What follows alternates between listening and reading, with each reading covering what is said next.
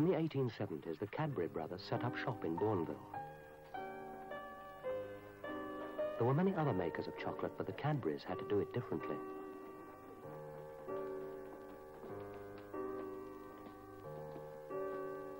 Not bad. Not bad at all, Margaret. They'd set themselves a simple aim to create the finest plain chocolate of their age. They succeeded. Appropriately enough, they called it Mondelez International.